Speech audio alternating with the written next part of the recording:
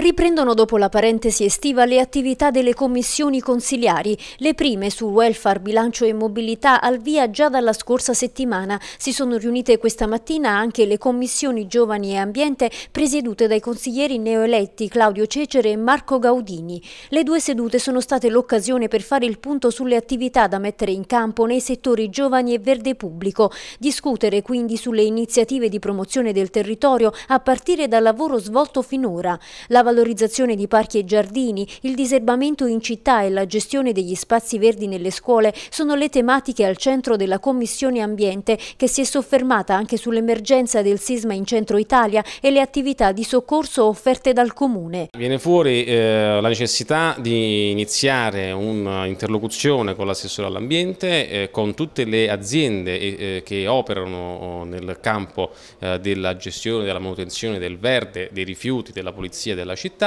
eh, per iniziare a programmare, a programmare degli interventi, un lungo corso di interventi in sinergia con i territori municipali, con il decentramento, quindi all'interno delle municipalità, eh, fermo restando tutti i limiti eh, relativi alla eh, al personale che purtroppo è eh, anziano e eh, numero non sufficiente a garantire insomma, i servizi eh, ottimali. E, e, proprio per questo dobbiamo iniziare a, a, programmare per avere, sopperire a queste diciamo, mancanze che derivano da eh, una situazione che non può fare riferimento a noi ma fa riferimento a gestioni degli anni e che dobbiamo in qualche maniera cercare di superare attraverso un lavoro congiunto, sinergico con tutti tutte diciamo, le forze buone e sane della città. Sul fronte giovani in commissione consiliare si è discusso delle nuove progettualità e della valorizzazione di aree a vocazione rurale. Problematiche che si stanno creando con la regione Campania eh, vorrebbero affidare praticamente progetti eh, direttamente a privati, ad associazioni,